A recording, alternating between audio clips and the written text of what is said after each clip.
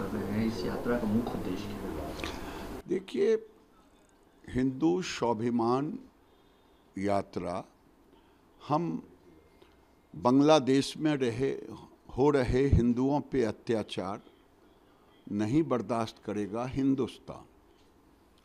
जिस दिन से बांग्लादेश की घटना घटी, उसी दिन से मेरे मन में था कि अब समय आ गया है हिंदुओं को एक होने करने का, हिंदुओं को एक होने का, नहीं तो ये वोट के सौदागर।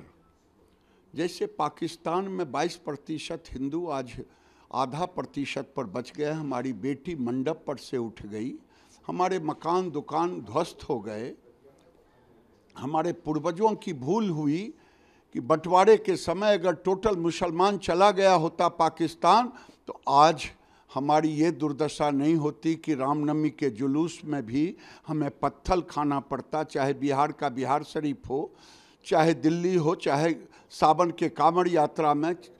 ये दृश्य आखिर क्यों? हमने तो कभी तजिया पर एक पत्थल नहीं फेंका। हम उसी लिए संगठित हिंदू, सशक्त हिंदू बटोगे तो कटोगे यही संवाद करने जा रहे हैं। आरजेडी ने आपके यात्रा पर सवाल उठाया कहा है कि हिंदू मुस्लिम करके दो भाइयों को लड़वाएँगे। कौन से भाई? सैतालीस से कोई बता दे कि बिहार हो या देश के किसी कोने पर किसी तजिया पर हमने एक पत्थर फेंका है। आखिर मेरे दुर्गा पूजा की मूर्ति विसर्जन में सरस्वती जी के रामनवमी में आखिर क्यों?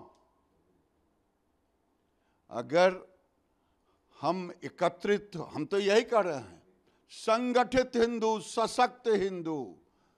बस मैं तो यही कह रहा हूँ।